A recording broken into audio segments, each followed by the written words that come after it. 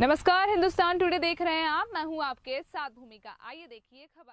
सोनाखिर तिराहे पर तेज रफ्तार बस ने बाइक में मारी टक्कर, एक की मौत, एक घायल।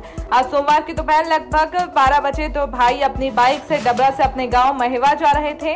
तभी दतिया से ग्वालियर की ओर जाती हुई तेज रफ्तार बस चालक ने बाइक सवार को मारी टक्कर, जिसमें बाइक सवार पैंसठ वर्षीय पूरण हेरवार सन ऑफ़ खुशहाली राम मेहरवा निवासी ग्राम महेवा की मौत हुई, जबकि बाइक पर सवार मृतक का छोटा भाई शंकर लाल अहिरवार उम्र उनचास साल, निवासी महेवा गंभीर रूप से घायल हो गया। जानकारी लगते ही परिजन मौके पर पहुँचे और दोनों को लेकर पहुँचे जिला अस्पताल। इसमें शंकर लाल अहिरवार गंभीर रूप से घायल होने के कारण जिला अस्पताल दतिया द्वारा ग्वालियर रेफर कर दिया गया।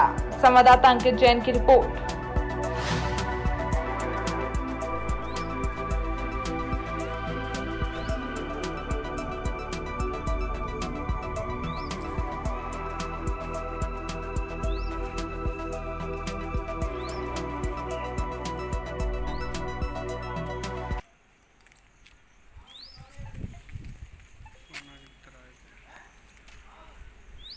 दो हुए आज तो।